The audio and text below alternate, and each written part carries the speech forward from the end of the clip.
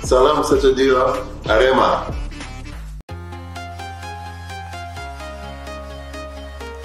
Assalamualaikum warahmatullahi wabarakatuh Salam olahraga Kembali lagi bersama channel kami yang tentunya masih setia menyajikan informasi-informasi menarik seputar dunia sepak bola tanah air Manajemen Arema FC menggelar agenda mereka dalam memperingati hari ulang tahun ke-36 Arema, Jumat. Mereka menyebut akan memperingati agenda tersebut secara sederhana, dengan menggelar tahlil dan doa bersama di kantor Arema FC, dari Arema FC.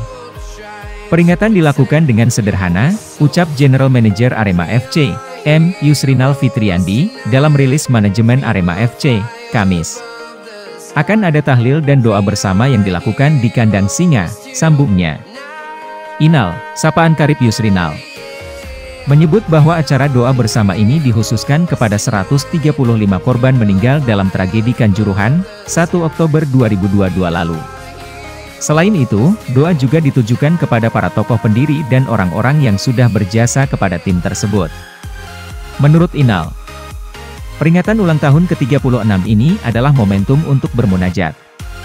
Hal ini agar Arema FC dan Aremania selalu diberikan keselamatan dan kembali berprestasi ke depannya.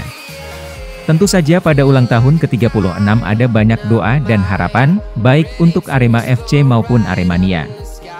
Semoga kita selalu diberikan keselamatan, kekuatan, dan kembali berprestasi, ungkapnya. Seperti lazimnya, Arema FC juga mengusung jargon khusus dalam peringatan ulang tahun Arema kali ini. Kali ini, klub berlogo singa mengepal ini mengusung jargon, Bismillah bangkit.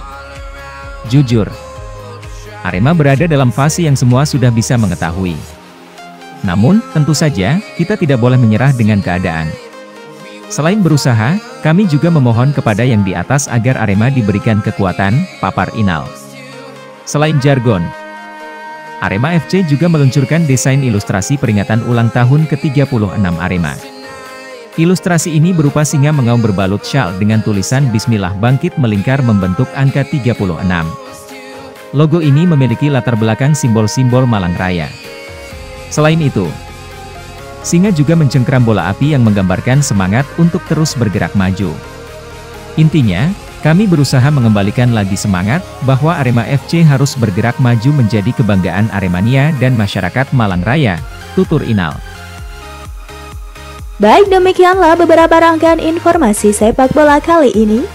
Jangan lupa klik tombol subscribe.